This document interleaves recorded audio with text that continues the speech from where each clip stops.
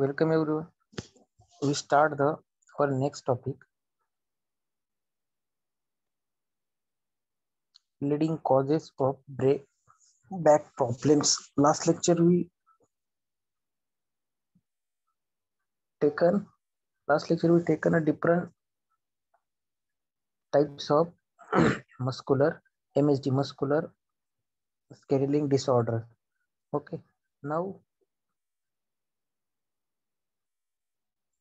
next point is a leading causes of back problems.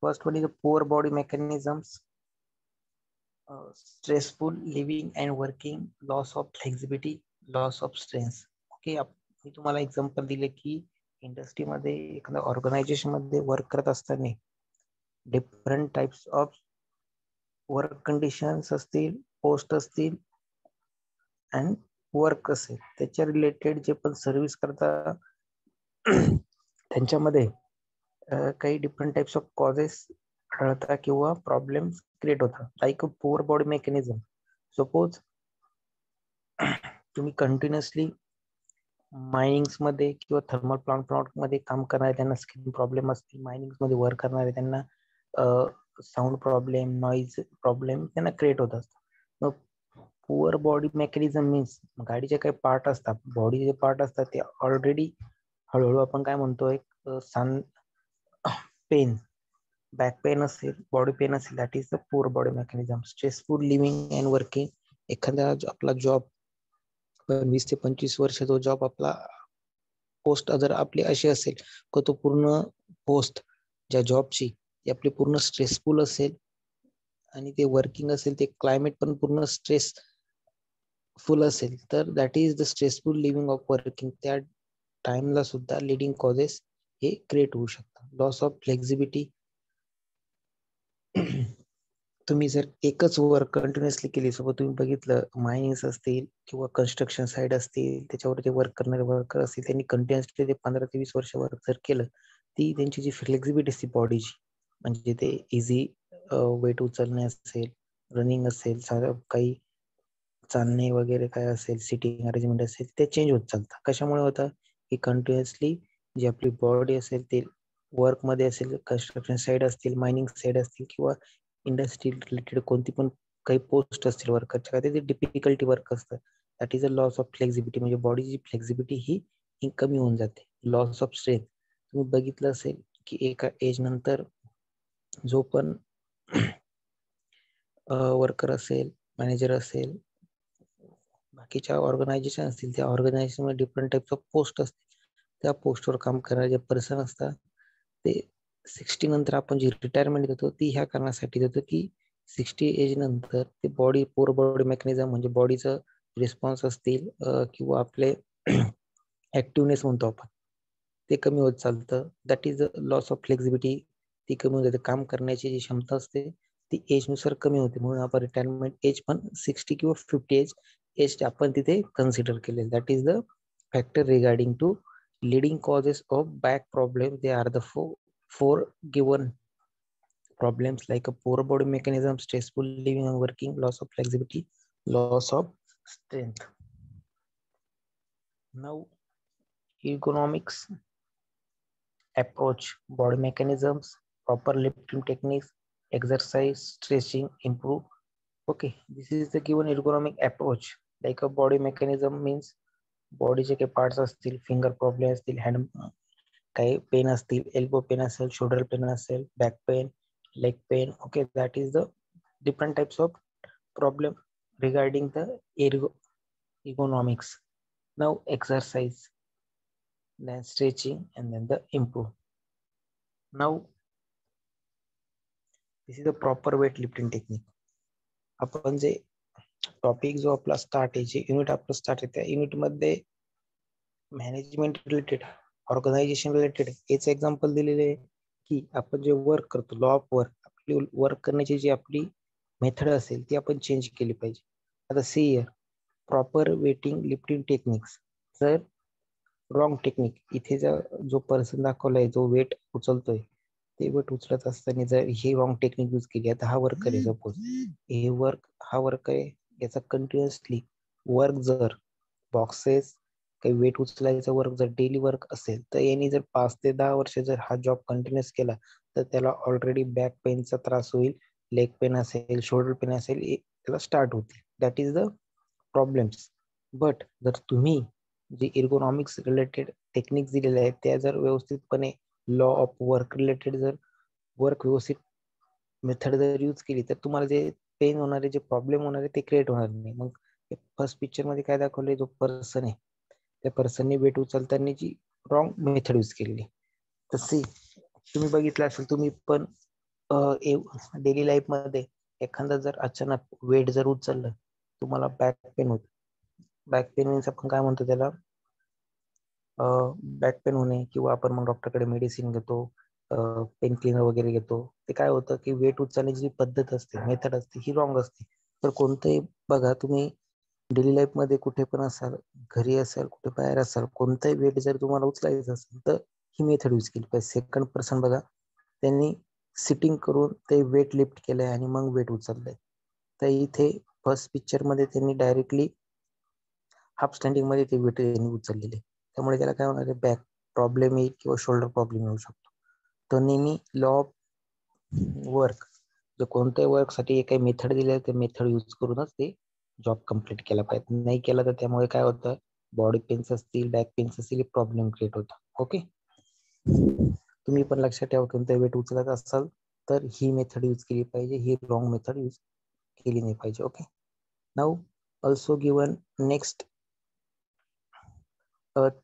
increase the stress and decrease the circulations high risk and low risk okay the typical desktop typing positions that increases the muscle factors and injury task injury risks and ideal typing positions तुम्ही इथे जर बघितलं मी तुम्हाला example दिलं होतं I T सेक्टरमध्ये I T सेक्टरमध्ये किंवा सॉफ्टवेअर कंपनी असतील किंवा अकाउंट सेक्शन असेल कोणत्याही ऑर्गनायझेशनचं अकाउंट सेक्शन असेल त्यांचं वर्क एक कम्प्युटरवर असतं. ओके कम्प्युटर असेल लॅपटॉप असेल त्यावर वर्क असतं. त्यांचं ते सिटिंग वर्क असतं. सिटिंग वर्कमध्ये त्यांना प्रॉब्लेम कुठं होतो? शोल्ड एल्बो तिथे बघा. एल्बो पेन असेल शोल्डर पेन असेल बॅक पेन असेल. तर त्याच्यासाठी पण काही पोझिशन्स दिलेल्या आहे मेथड्स दिलेल्या आहे की जे आपलं वर्क असेल अकाउंट सेक्शन असेल किंवा सिटिंग वर्क असेल I T sector software company असेल आपलं जे सिटिंग वर्क असेल त्याच्यासाठी पण आपली जी सिटिंग अरेंजमेंट आहे ती पोझिशन कशी पाहिजे?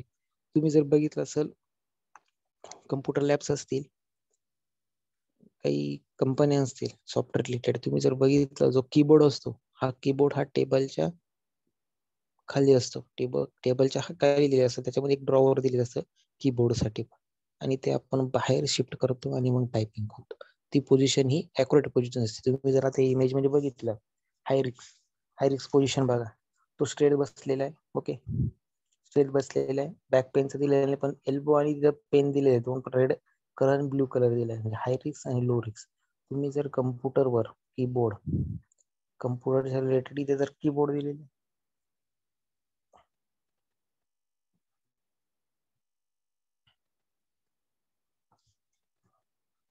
ते बघा. इथे कीबोर्ड दिलेला आहे.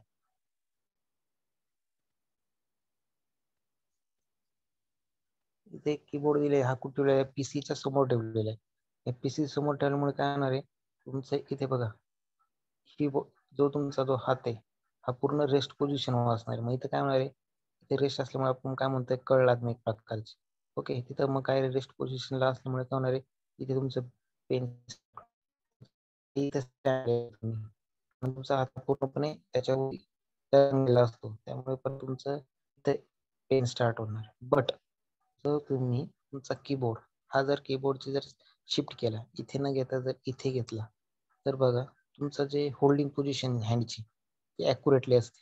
म्हणजे इथे पण तुम्हाला प्रॉब्लेम होणार नाही इथे पण होणार नाही आणि इथे पण पेनचा त्रास नाही आणि इथे पण पेनचा त्रास नाही. सो कोणतीही पण वर्क करण्याची मेथड असेल तर त्याच्यामध्ये इकॉनॉमिक्स म्हणजे लॉ ऑफ वर्क ते यूज करून आपण ते वर्क केलं पाहिजे. ते वर्क कंप्लीट केल्यानंतर आपल्याला कोणत्याही प्रकारचा बॅक पेन असेल स्ट्रेस पेन असेल हँड पेन असेल आणि एल्बो पेन किंवा शोल्डर पेन ह्या प्रकारचे होऊ शकत नाही. त्यामुळे सिटी तुम्ही पण लक्षात ठेवा कधी पण तुम्हाला कधी तुम्ही डिझायनर इंजिनियर झाले ओके कंपनीमध्ये तुम्ही ॲज अ डिझायनर इंजिनियर म्हणून जरी लागले तर तुमचं वर्क हे सिटिंग वर्क असेल. म्हणजे तुम्हाला ते बसून वर्क करावं लागेल असेल पी सीवर कम्प्युटरवर लॅपटॉपवर तेव्हा पण तुमची सिटिंग अरेंजमेंट असेल तुम्ही ही यूज न करता ही यूज केली पाहिजे okay now do you use the headset rather than the gliding the telephones between your hands and shoulder? शोल्डरचा बघा इथे दिलेले पेन्स कुठे स्टार्ट होते सिटिंग अरेंजमेंट असते जर ती रॉंग असेल तर पेन इथे स्टार्ट होते. ही रॉंग पोझिशन नऊ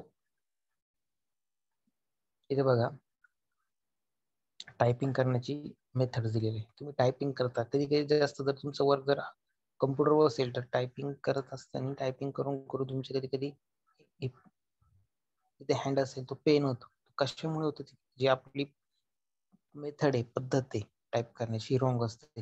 इथे बघा इनकरेक्ट पोझिशन्स ही पोझिशन इनकरेक्ट पोझिशन दिलेली आणि करेक्ट पोझिशन कशी दिलेली बघा?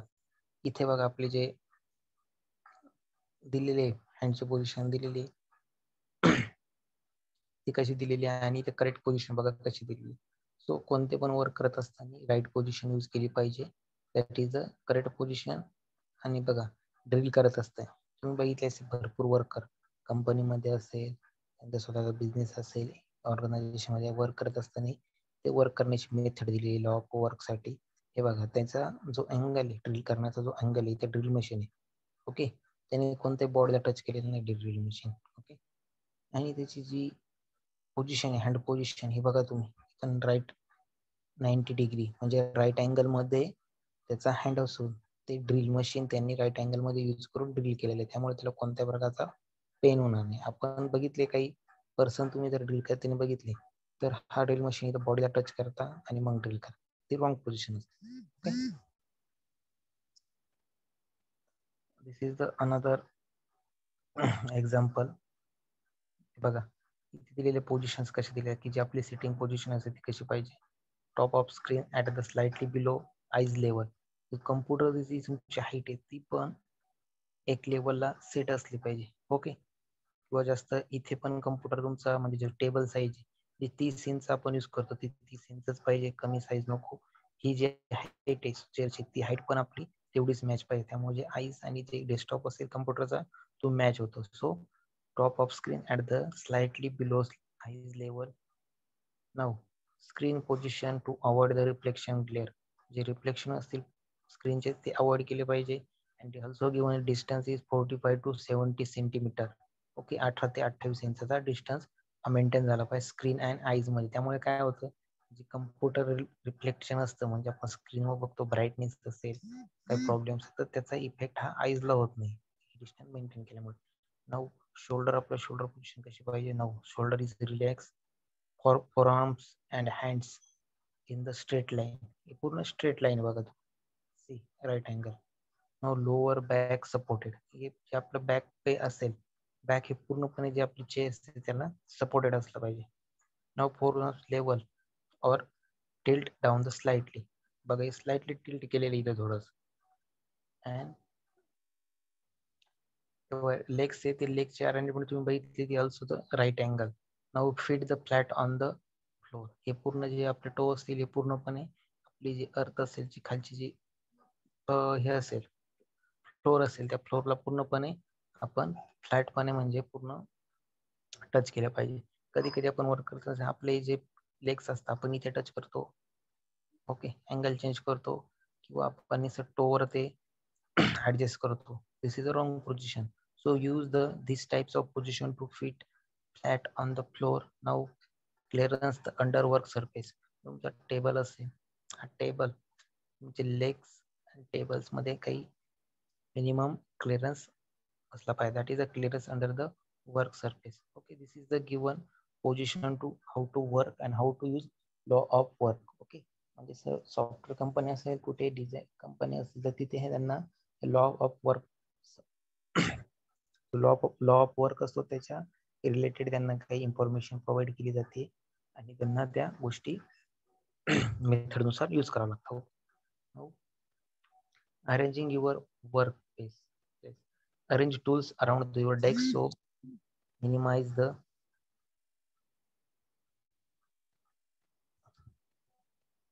minimise the distance you have to reach for them divide your work space into three zones okay तुमचं जे वर्क प्लेस असेल वर्क प्लेस म्हणजे सपोज तुम्ही प्रोडक्शन लाईनवर वर्क करत असाल डेस्क डेस्क वर्क करत असाल टेबल्स दिलेले असेल तुम्हाला सेक्शन दिलेलं असेल किंवा ऑफिस दिलेलं असेल कोणत्याही रिलेटेड असो ते वर्क करत असताना ते given some arrangement related the first is a primary work zone the distance from the elbow to hand things you touch on the daily basis हे बघा. प्रायमरी झोनमध्ये दिलेले आहे.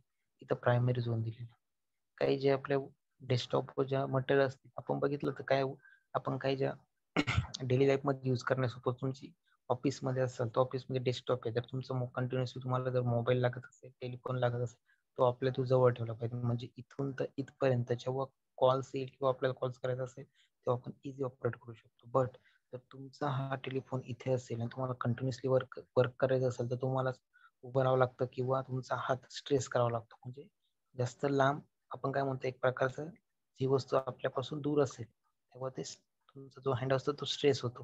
किंवा या साईडला असेल तर आपण या साईडला स्ट्रेस करतो. त्यामुळे काय होतं बाकीचे प्रॉब्लेम असतील बॉडी पेन असतील शोल्डर पेन ते स्टार्ट होतं नऊ माझी अरेंजमेंट असेल वस्तूंची अशी ठेवली पाहिजे ती की आपण सिटिंग असताना आपल्याला इझी ते आपल्या हातामध्ये ऑपरेट झाले पाहिजे. म्हणजे सोबत हा रेफरन्स झोन दिलेला आहे. इझी तो ऑपरेट करू शकतो हँडल करू शकतो. सेकंडरी झोनला टेलिफोन दिलेला आहे. इझी तो ऑपरेट करू शकतो. ओके त्याच्यापासून जास्त दूर अंतरावर पण नाही. नंतर प्रायमरी झोन दिलेले इथे म्हणजे तुमचं काही असेल पाणी असेल टी असेल लंच ब्रेक कोणत्या म्हणजे एखादा काही यूज असेल किंवा ग्लास असेल पाण्याचा इझी ऑपरेट होऊ शकतो बाय हँड ओके इथे बघा इथे डेस्कटॉप इथे कीबोर्ड दिलेला आहे तो इझी ऑपरेट करतो. डेस्कटॉप आणि पर्सन आईजमध्ये डिस्टन्स दिलेले आहे to eighteen to twenty inch distance okay so second work zone is the within the arm reach use this zone to position those items that you use frequently but do not need all the times reference zone is outside the arm reach you use this zone for your list of 10 use okay तुम्हाला एक video play करणार त्या व्हिडिओमध्ये तुम्हाला कळेल की जी ergonomics आहे त्याच्या रिलेटेड कोणत्या लॉक्स वर्क मेथड यूज करायचं okay to be ergonomics a design must they given some ergonomic design must fit the user be easy to use improve comfort improve performance improve health and safety जर आपण ergonomics law of जर method use केला त्या पोझिशननुसार आपण जर correct work केलं correct sitting arrangement असेल तर आपल्याला काय फायदा होऊ शकतो इम्प्रूव्ह कम्फर्ट आपल्याला कम्फर्ट वाटू शकतं त्यामुळे काय होईल आपला परफॉर्मन्स इम्प्रूव्ह होईल देन आपले हेल्थ अँड सेफ्टी पण improve होईल. नऊ एर्गोनॉमिक्स डिझाईन चेअर्स ओके तुम्ही जर बघितले असते काही आपण म्हणतो आरामदायी चेअर्स जे कम्फर्टेबल चेअर्स असतात त्या त्यानुसार डिझाईन केल्या जातात. की त्या चेअरवर सिटिंग केल्यानंतर आपल्याला जे असेल नेक पेन असेल बॅक पेन असेल शोल्डर पेन असेल ते कोणत्याही प्रकारचं पेन होत नाही. This is the economically design chairs okay high density padding material should be use in a clean okay adjustable comfortable arrangement केलेलं असते या टाईपच्या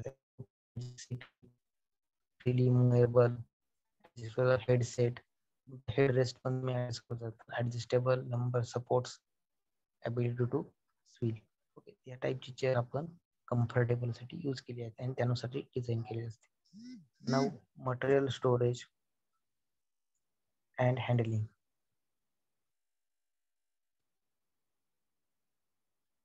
material storage and handling. Clean and mark transport routes provide ramps of 5 to 8 percent inclination instead of small stairs. Use a mechanical device of for lifting lowering and moving heavy materials. Instead of carrying heavy weights divide them into smaller light weights. Example is a 2 into 10 kg instead of 20 kg. Combine heavy lifting with physical lighter tasks material handling आपण जर example बघितलं की material lift करत असताना ती position कोणती आपण use केली पाहिजे ते मटेरियल लिफ्ट करत असते that is the material storage and handling purpose no hand tool use hanging tools for ऑपरे operation repeated in the same place provide hand support when using a precision tools provide hand tools with the grip of the proper thickness okay hand diameter is a 30 to 40 millimeter hand length is a 125 millimeter and the size of fit male hand is provide a home for each tools. Hand tools दिलेले ते hand tools use करत असताना त्याला आपण बघितले. Files असतील spares असतील त्याला यूज करताना असताना काही कम्फर्टेबल ग्रीप दिलेली असतात. ते कशासाठी दिलेले असतात की आपण जे वर्क करतो ते प्रॉपर आपल्याला करता आलं पाहिजे. त्यासाठी त्या हँड टूल्सला ते सेफ्टी फीचर दिलेले असतात. That is a purpose for using the hand tools now production machine safety locate control in a sequence of operation make a display and single easy to read use properly fix guards and interlock device. Production machine safety तुम्ही बघितलं असेल processing machine बघितलं असेल आपल्याकडे. Workshop machine बघितली असेल त्यांना दोन ते तीन ठिकाणी सेफ्टी दिली असते. एक मेन स्विच असतो. मेन स्विच पासून बोर्ड पर्यंत सप्लाय येतो. परत बोर्ड पडून मशीनला एक सप्लाय येतो. त्या मशीनला परत एक ऑन ऑफचा स्विच दिलेला असतो. म्हणजे काय असतं? ही सेफ्टी असते. ते पण लॉ ऑफ वर्कमध्ये इनबिल्ट असतं किंवा इन्क्लुडेड असतं. लॉ ऑफ वर्क मध्येच ते मोडतं. की जे पण मशीन असेल त्या मशीन रिलेटेड सेफ्टी असतील. त्या पण मेथडनुसार यूज केल्या पाहिजे. स्टार्टिंगला सप्लाय बोर्ड पर्यंत बोर्डपासून मशीन पर्यंत मशीन पासून मग ऑपरेट करणार. That is the given a different cycle sequence of operations for the using the production machine safety now light lightning means increase use of daily lights light up the work area evenly sufficient lighting for workings local lighting for precision works remove shiny surface avoid glare हे बघा इथे काय दिले gate active at work आपण जर बघितलं असते आपण कधी पण आपली सिटिंग अरेंजमेंट असेल स्टँडिंग स्टँडिंग असेल किंवा स्लिपिंग पोझिशन असेल ह्या डिपेंड असतं. तुम्ही जर बघितलं की एक प्रकारचं योगा म्हणू शकतो आपण किंवा काही कन्सेप्ट असतात की आपण बसताना कसं बसलं पाहिजे. स्लिपिंग असेल तर सिपली स्लिपिंग मुवमेंट कशी पाहिजे? स्टँडिंग मुवमेंट असतं कसं उभं राहिलं पाहिजे? ह्या मुवमेंट जर आपण प्रॉपर यूज केला नाही in the law of work आपल्याला काही बॉडी प्रॉब्लेम असतील किंवा बॉडी इश्यू असतील ते क्रिएट होत चालतात. बघा इथे दिलेले काही इमेज दिलेले आहे सिटिंग अरेंजमेंट जर या पद्धतीत असेल तर इथे पेन होऊ शकतं. हे बघा इथे जर तुमचं जे नेक प्रॉब्लेम कसा होऊ शकतो इथे दिलेलं आहे. तुम्ही बघा सिटिंग अरेंजमेंट इथे दिलेलं आहे. एक लेग दुसरा लेग वापस सीट रेस्ट केलेला आहे. या प्रकारचे या प्रकारचं आपण बघा. इथे पण दिलेलं आहे की सिटिंग अरेंजमेंट आपण कशी करतो. Okay this is the given the get active at the work म्हणजे अशा प्रकारचे काही पोझिशन दिलेले आहे आणि काही वर्क दिलेले आहे की आपण जे वर्क करतो ते वर्क केल्यानंतर आपण एक्झरसाइज काय केली पाहिजे बघा? ही दिली हेड नेकची एक्सरसाइज असेल फिंगर एक्सरसाइज असेल. बघा ही बॅक पेन आपण बघितलं असेल की एकदा एखादा पर्सन त्या सीटवरून जर उभा राहिला तर तो एक्झरसाइज करतो. इकडे हात फिरवेल तिकडे हात फिरवेल अप डाऊन करेल. ही बघ इथे पण एक एक्झरसाइज पोझिशन दिलेली इथे नेक पोझिशन दिलेली इथे पण दिलेली म्हणजे काही वर्क करत असताना लॉ ऑफ वर्क सपोज जर आपल्याकडून काही मिस्टेक झाल्या की सिटिंग अरेंजमेंट आपण बसताना मिस्टेक झाली काही मशीन ऑपरेट करताना आपण मिस्टेक केली त्यामुळे आपला बॉडी पेन असेल तर त्यासाठी काही एक्झरसाइज प्रोव्हाइड केली. असतात त्यामुळे तुमचं पेन प्रॉब्लेम हे कंप्लीट होतं okay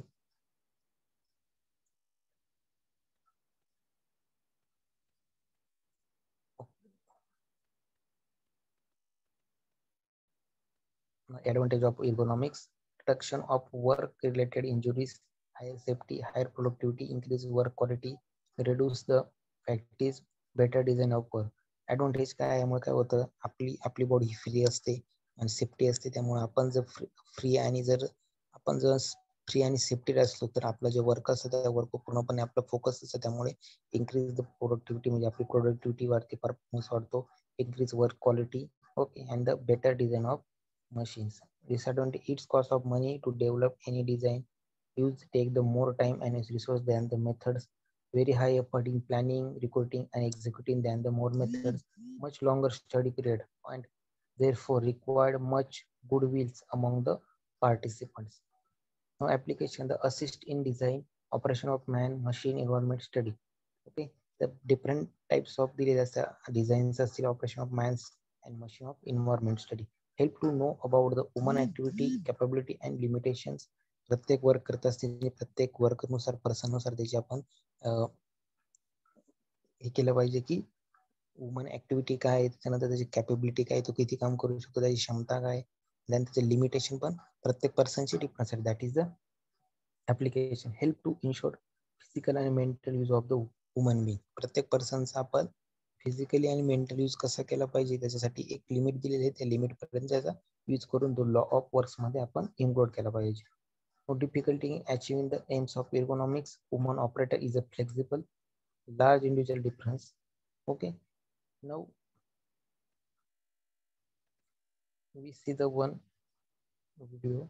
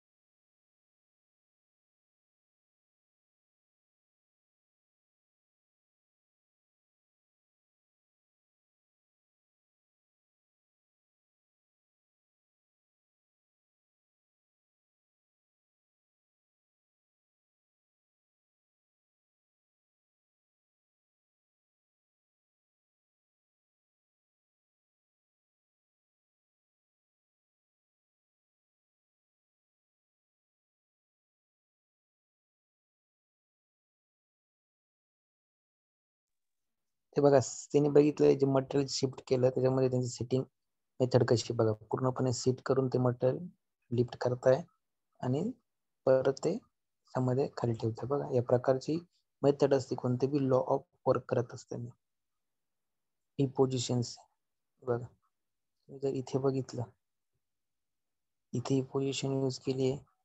इथे बघा इथे यूज केली ही इथे केली. त्यामुळे काय होतं जे आपलं बॉडी पेन असेल तिथे प्रॉब्लेम स्टार्ट होतात. मग त्यानुसार ज्या मेथड्स आहे त्या मेथडनुसार कोणताही पेन लिफ्टिंग असेल तुम्ही त्यानुसार ते यूज केलं पाहिजे लॉ ऑफ वर्क कधीच आपण या प्रकारचं कोणतं मटेरियल असेल ते लिफ्ट नाही केलं पाहिजे. तुम्ही इथं पण बघितलं की हा पर्सन या पद्धतीने यूज करीत होता. पण या लेडीनं इझी पद्धतीने केलं. त्यामुळे काय झालं? बॉडी पेन असेल स्ट्रेस असेल तो कमी झाला. आणि या जो पर्सन त्या पद्धतीने यूज केल्यामुळे याला बॉडी पेन स्टार्ट झाला no safety direct where the seriously harmful to this person lifting is a breath when you bend at the knees त्यामुळे त्या लेडीने इझी ऑपरेट केल्यामुळे तिला तिचा टाइम कमी लागला किंवा कोणत्याही प्रकारचं बॉडी पेन झालं नाही. Okay this is the easy method to use any work condition to law of work